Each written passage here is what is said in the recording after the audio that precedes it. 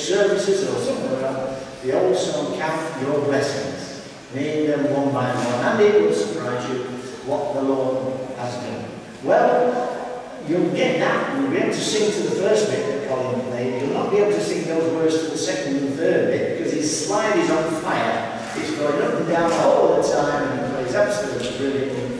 So we're looking forward to it. I always enjoy listening to Colin play. Colin is from the Salvation Army in Sunderland. Sunderland, Wearmouth, the area of Wearmouth, you know, many of you. And uh, this is Colin going to play Count Your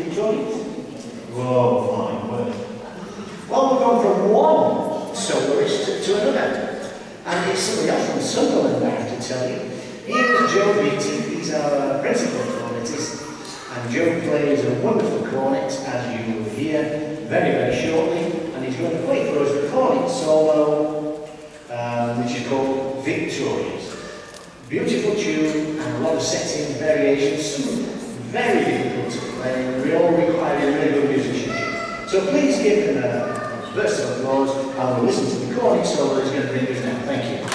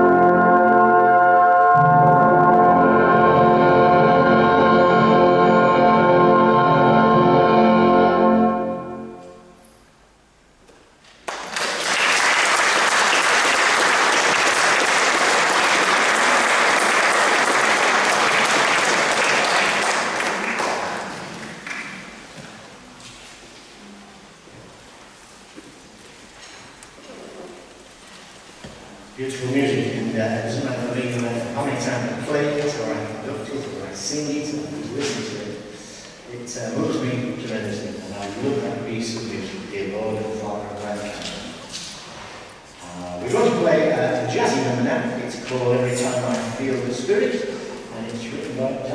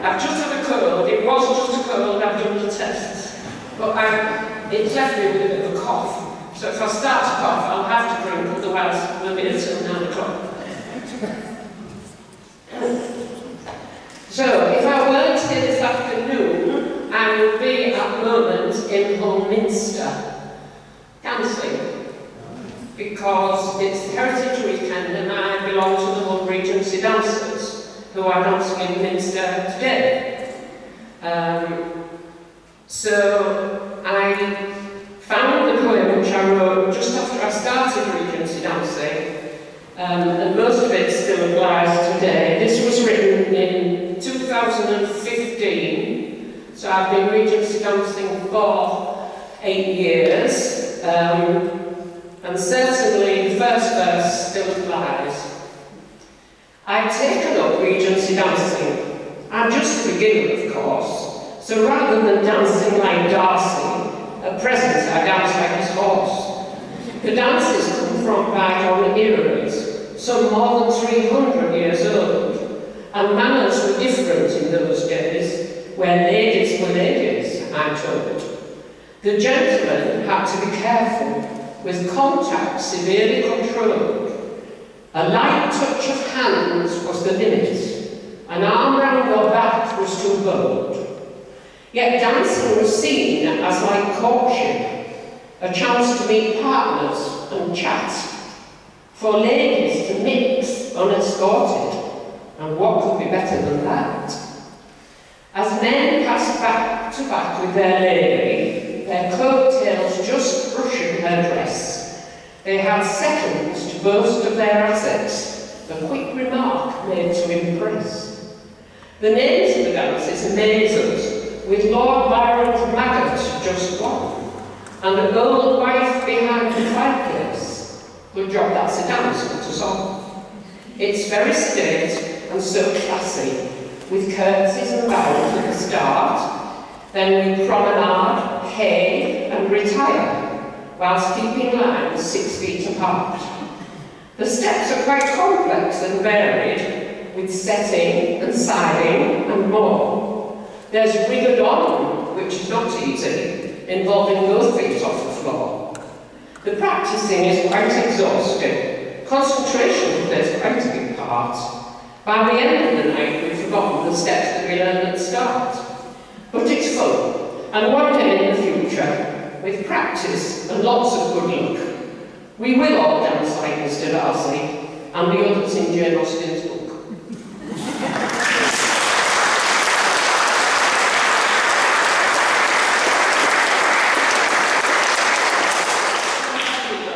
Dancing on church flagstones, not that. But we haven't had any actual falls up to now. Um, my second poem is um, a personal one because last December, at the age of 73, I became, I think, probably the oldest first-time grandma in the world.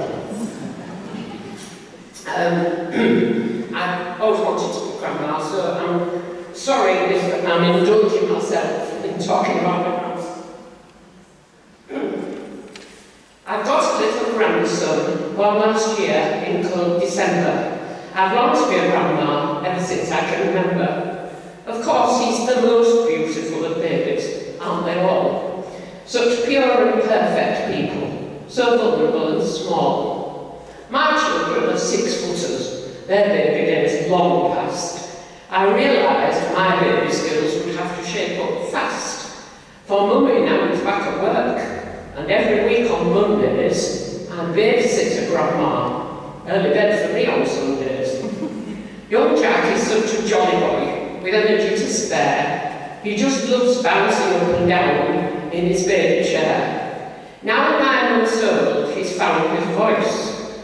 Volume controls not present, but listening to him try to talk is really very pleasant.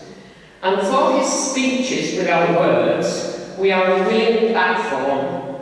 It seems he's going to love to talk. Can't think where he gets that from. He's got his daddy's appetite, which means permanent hunger. But baby's meals today are nothing like when I were. My sons were fed by Mr. Heinz with jars of tasteless puree, but Jack has tasty bolognese and vegetable curry. No sweet food though. It's frowned on as not good for his tummy. But Daddy gave him chocolate. Good job he can't tell Mummy. So many things are different, and now it seems to me to open up a pushchair needs an engineer's degree. It's good to be a grandma and care for little Jack, but nice to know that when it's bedtime, I can give it back.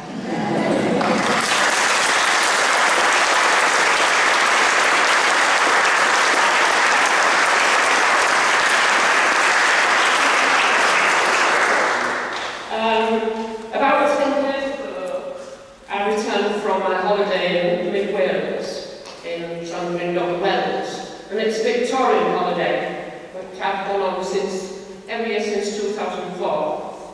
Um, and we all dress as Victorians for the week and do Victorian things, that the Victorian and people are always asking me about it. So I wrote a poem about it some years ago, and this is about half of it, because it was very long. So should give you a taste of what we just up to. Llandrindod Wells Spa Town in mid-Wales is quiet for most of the time, but Festival Week every summer takes this place right back to its prime. Each year for the last week in August, town has changed for seven days, when townsfolk and holidaymakers go back to Victorian ways. In crinolines, corsets and bustles, the ladies parade through the street, renewing the friendships of previous years as festival veterans they greet. The men dress in tailcoats and toppers, with wing collars, canes and cravats, and show off their old-fashioned manners, respectfully doffing their hats the crowd gathers first at the bandstand in festival gardens to preen while waiting to catch their first sight of our Victoria, our much-loved queen. Do have. At the Victorian Albert Hall Theatre on Tuesday evening we all see Charles Dickens' great-great-grandson Gerald, a highlight of the week for me. His one-man show this year, Christmas Carol, Dickens' most popular show, and next day we have Christmas in August, with Christmas tree, Santa and snow. Some events are not strictly Victorian. We added this year to the list with a Titanic Canaan. We danced below decks to an Irish band from Aberystwyth. There's a cycle museum in Llandod, which has every species of bike. A man with his own penny farthing will give you a ride, if you like. Well, it's not actually a ride, because nobody dares to move, but he just let you sit on it. There are slideshows and talks in the morning to inform and to entertain. You can learn how to make hats or courses. If it's wet, you'll be out of the rain. There's music of all kinds to tempt you, from street organs, choirs and brass bands. And on the last Sunday we all join in with hymn singing at the bandstand. If dancing is what you desire, you'll find lots to do with your feet. With workshops and balls and tea dances, there's no time to sit in your seat. No wonder the ladies have vapours, the old-fashioned version of stressed. With outfits for every occasion, they spent all their time getting dressed. So if you should tire of the upstairs, it's off to the servants' hall, where footmen and parlourmaids gather to enjoy the below stairs ball. And on, sorry, you can take in the air or the waters in Rock Park's Victorian Spa or walk in the woods by the river. There's beauty wherever you are. And on the last Sunday, the ladies, resplendent in purple and green, all gathered to welcome their leader, the suffragette queen, Emily. They marched up the streets with their banners, with Mrs. Pankhurst at the head, and cheered as she rallies her sisters by men to refuse to be led. And later, when darkness is falling, a thousand-legged fire-breathing snake of torch-bearing folk of all ages process up the hill the lake. Once there, they all watch in amazement as fireworks light up the sky. And it's time to pack up all the costumes, as sadly we all say goodbye.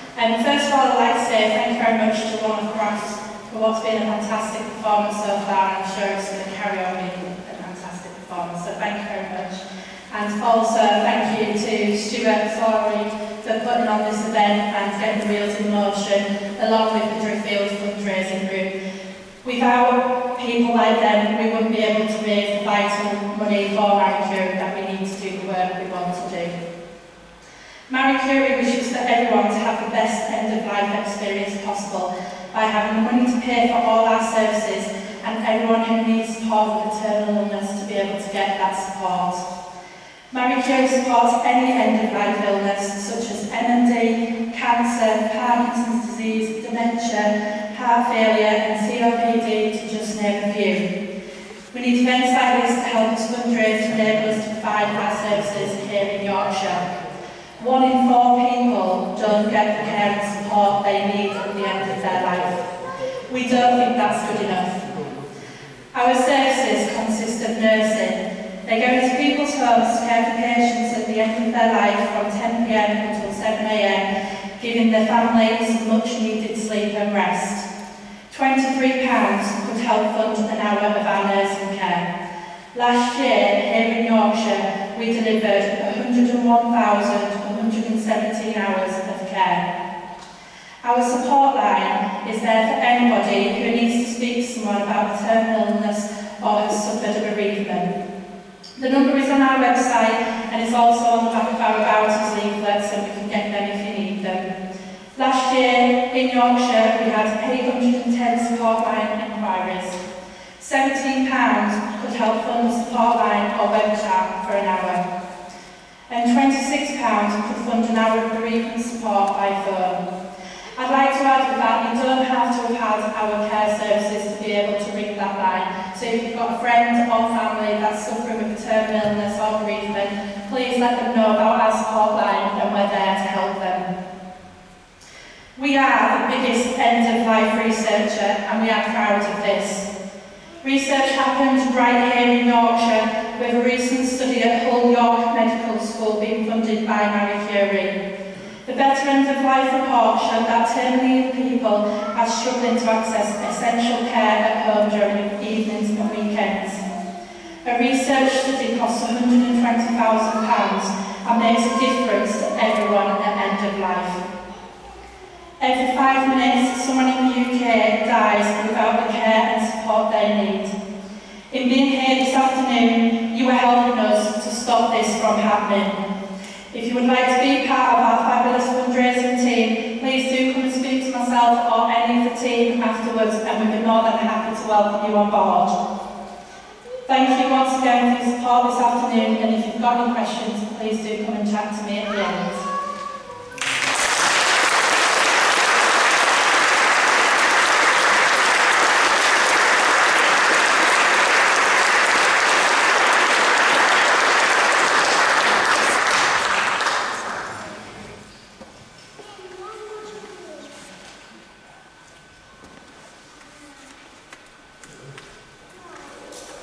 Thank you for that. Thank you for that word. It's uh, really important stuff that you do. We do say thank you for that and to all your colleagues. Please, please pass that on. We can come and we can play and we can do all those things and we can go away afterwards and we're still there working with these folks in, uh, in those places. So thank you for the use of, of your special gifts that you have, each one of you too. And please, may that the long continue.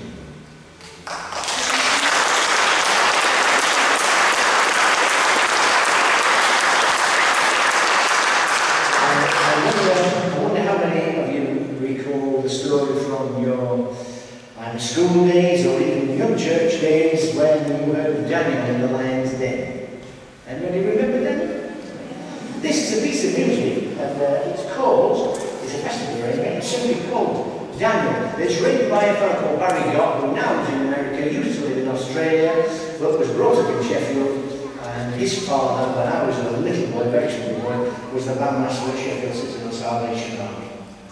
Uh, but Daniel, Dad's standing by a purpose through heeding God's command. That's what we're going to play to you. Uh, if you can sing it, well, please feel free to do so. It's a bit of a jazzy arrangement, so you're not better off listening.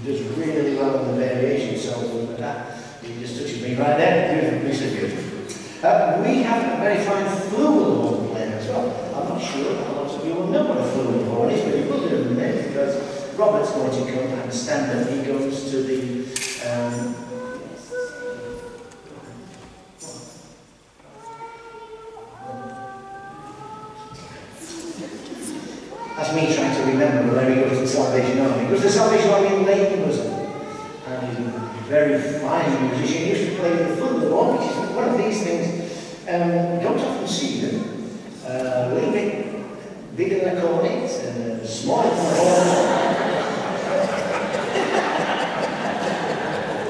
okay, love it. That's, that's what you've got for us. Thank you. And this is a piece of music called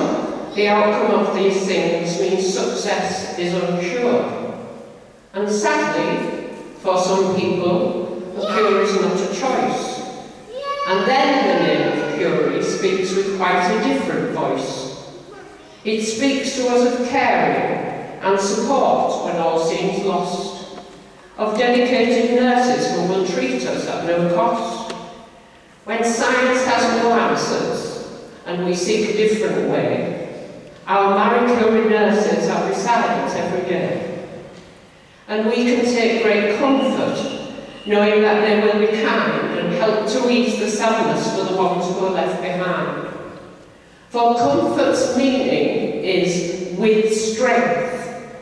And when we need them there, then love steps in and gives us strength for all we have to bear. And so we offer humble thanks to those who help us through the hardest moments of our lives for everything they do.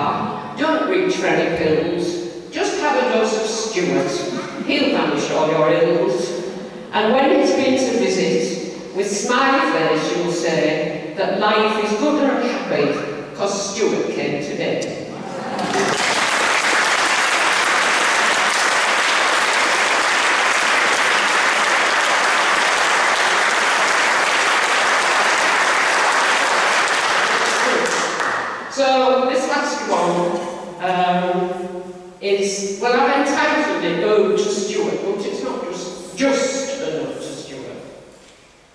One day, some 14 years ago, Stuart had a great idea. He'd form a band for just one gig, on that it wasn't quite clear. His aim was then to raise some funds for Marie Curie nurses who cared for him and his wife, June. He planned to raid our purses. And so he called musician friends and asked them to play. They answered yes, when Stuart asked, no isn't what you said. He chose the title One Off Brass, for it was his intention to play just once for this good cause. Repeated concerts got no mention. Of course he met with huge success. Job done, he then reflected. But such was the love for what he'd done, repeated concerts were requested. With Bram, Malcolm, then Ian conducting all the tunes, the players came to be a part of the legacy that's Jules. His daughter Jill was called upon to use her lovely voice to sing her glorious songs and bring variety and choice. As Stuart was a childhood friend of my dear husband John, he learned that I wrote poems and asked me to. Though I'm proud to do this, my musician son just quips, don't get big ideas, mum, you're just there to rest their lips. We've heard great marches lovely hymns and brilliant solo playing. Classical pieces, great show tunes, the audiences kept paying. And not just here the band has been to Belgium, where the locals were treated to more music, and of course to Jilly vocals. And so, as many audiences gave generous applause, they also gave their money for more than one cause. But now Stuart and me are now handing over this great band to Robert and to Steve, knowing that it is in safe hands. So as they take their final bow, we're holding back our tears and saying a huge thank you for their work for all the years. Though Stuart's one-off brass idea didn't quite work out to plan, we're proud to give him credit as a truly one-off man. A man who had an idea and put it into action. We hope he now can look back on this work with satisfaction. For every note the man has played has given joy and pleasure, and money raised has helped people in numbers we can't measure.